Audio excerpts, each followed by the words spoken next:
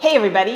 In this video, we're going to share with you what the most commonly asked question is that our beginner dance students have asked. That's right, and we're going to cover a question that you actually should be asking yourselves to be better dancers. That's right. So for those of you who haven't met us, this is Joel. And this is Clara. And we've helped hundreds of couples through our Natural Dance Method program. Exactly. We've used a three-step system that's proven to bring couples from being cringeworthy to confident, whether it's dancing at their weddings, at parties, or on vacations.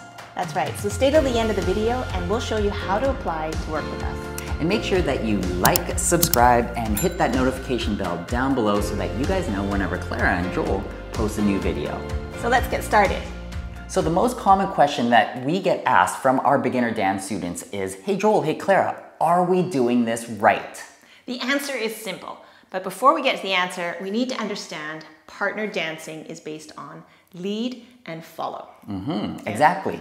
That communication is so key to get the couple dancing together. That's right. So if the lead intends to do something like, let's say, an underarm turn, mm-hmm. and the follow does the underarm turn, then you have success. Then we're right. Exactly. then you're doing it right. Exactly. So many people are already dancing and they go, hey, Joel, hey, Clara, is this right? And we kind of look at it and go, uh, well, yeah. yeah. it is. It's right. So here we're going to give you a couple examples of kind of what do we mean by is it right or maybe also is it wrong, all right? mm -hmm. So here I'm dancing with Clara and I want her to do an underarm turn, right? And so here I'm leading Clara into an underarm turn and then we finish off. And then we want to ask ourselves, is that right? Is that right? yeah. Well, was my intention to do an outside turn for Clara? Yes, it was. And did I respond and do an outside turn?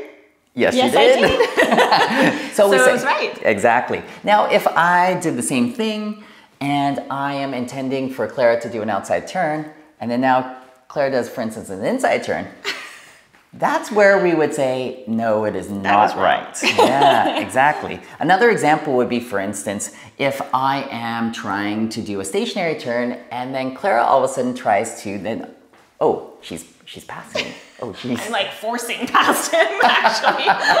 exactly.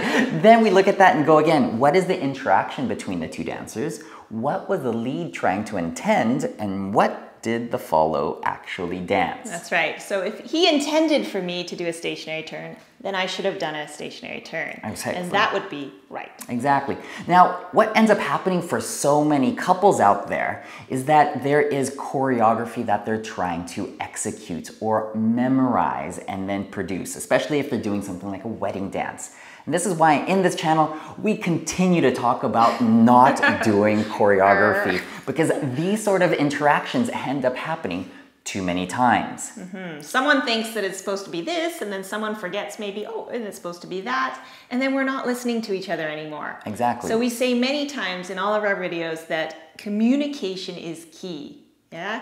So we always have to have a leader sort of determining what the action should be and then the follow responding to that action and listening to it. Exactly. And that's actually what keeps you guys together and dancing as one. So even though maybe Clara was right with the choreography because she wasn't following what I was doing, we were not dancing together. And especially if we're doing this in front of people, again, if this is your wedding and we're dancing in front of guests, they'll know it's wrong because all of a sudden they're looking at Joel and they're looking at Clara and going, hey, Something is mismatched there. Exactly. Even though maybe Clara was right in the choreography. And again, that's why we say we would rather have you learn how to dance, learn how to communicate and connect instead of trying to memorize choreography. Mm. And that way you have a genuine, authentic experience instead of something memorized and programmed and possibly could get wrong. Exactly.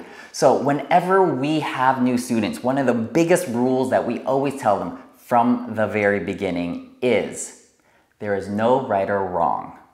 There's only together. Exactly. We're going to say that again because it's so important. there is no right or wrong. There's, only, only together. together. Yeah? And boy, we're really together today, aren't we? so go and write that down in your notebook. Mm-hmm. Because remember that. Again, if we're now dancing, and maybe we should have done an, a passing turn, and I lead Clara into a stationary underarm turn. That's totally fine. You guys as our guests in our wedding would be like, wow, they're dancing so nicely together. Yeah, they don't know the choreography. They don't know that you um, might have had something else in mind. Exactly. All they see is that you are together. Yeah, and if you're not doing some sort of performance and you're just out dancing, whether it's again at a party, um, at an event, um, or even just on vacation, and you're having that time of dancing, then we're not doing choreography. Clara's dancing with me, we're having fun, and we don't have to worry about the right choreography. Yeah? That's right. So keep in mind, again, Joel and Clara's rule is there's no right or wrong, there's, only, together. Together.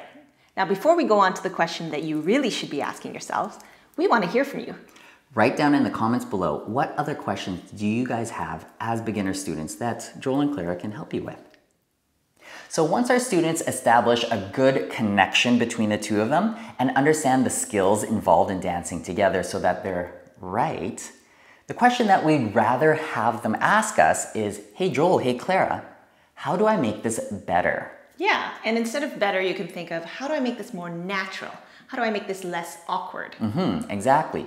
So what we do is we use this in a very, I don't want to say difficult, but more complicated process because we as teachers need to see what they're doing while they're dancing. That's right. When you're learning how to dance, you really need that direct personal feedback as to what you're doing and how you can improve it. Yeah. So as professionals and as experienced professionals um, teaching so many teach so many beginners, um, we've used an acronym called WEST to help us kind of assess how the students are doing and what exactly they need to be able to improve themselves. And we're going to go over WEST with you right now. Yeah. Okay, so we've got ourselves W, and W stands for W.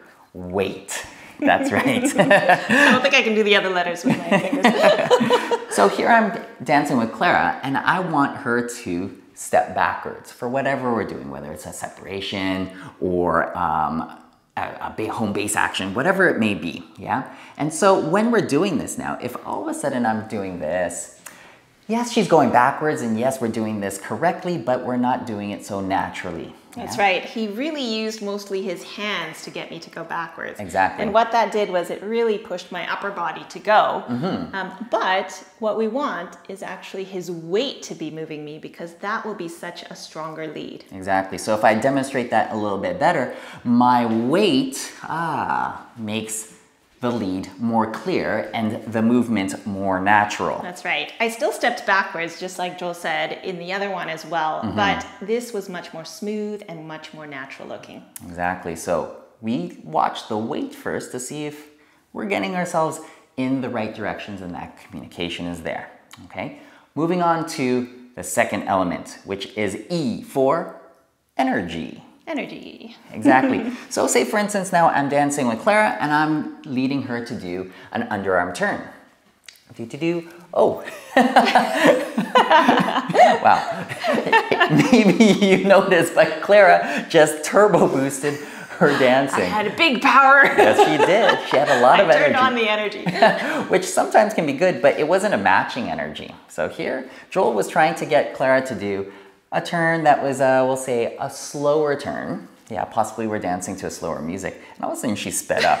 Yeah. and so it's, Yes. it's not really now matching. Yeah, so there's a communication uh, mismatch. Yeah, Mm-hmm. so the follow should always match the lead's energy. So that way, if he wants to do a slow turn, then I know and respond to that and do a slow turn as well. If there's faster paced music and it requires a faster turn, or if he just feels like spinning me faster, then I should feel that energy and again respond to it. Yeah, and once we got that connection, then it looks better, it looks more natural. Yeah. Just very harmonious. Exactly.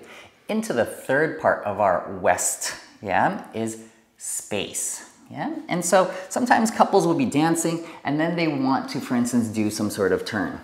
Yeah. Ooh, hello. Sorry.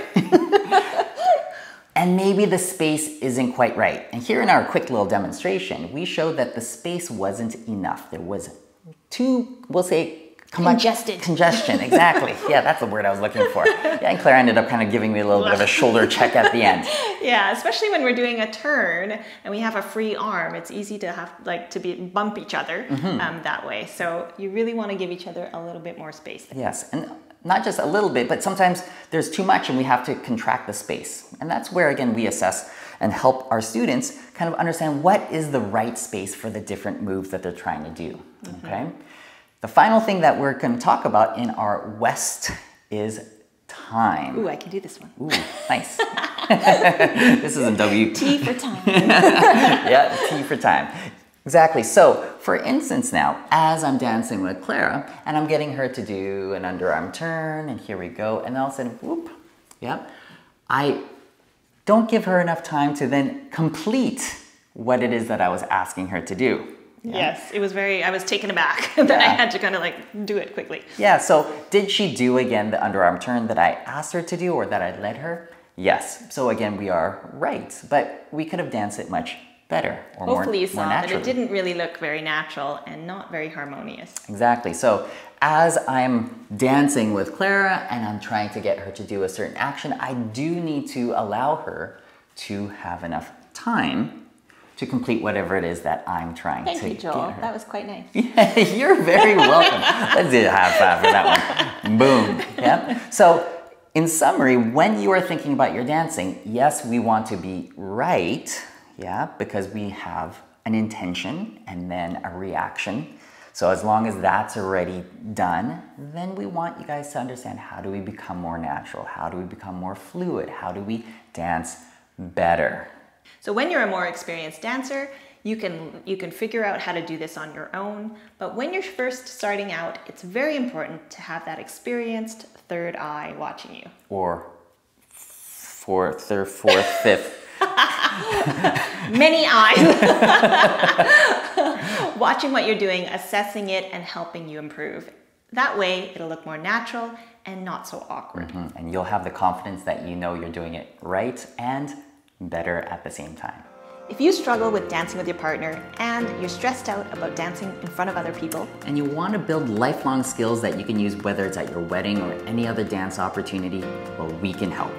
We have helped hundreds of couples go from feeling lost and awkward to being very natural and confident in their dancing. That's right. They've gone from cringeworthy to confidence using our proven method through our natural dance system. So if you're interested, set up a cons free consultation call with Joel and Clara, and the link is in the description below. And if you're part of the program, you'll be able to have these four eyes working with you guys to make sure you're not only right, but better with your dancing. Yeah. And for some other free help from Joel and Clara, check out our free masterclass. There's a link down in the description below where you can register and learn about our proven three-step system that's helped so many couples. If you enjoyed this video, please like, subscribe, and hit that notification bell. Thanks very much again for watching. We'll see you in the next one. Bye.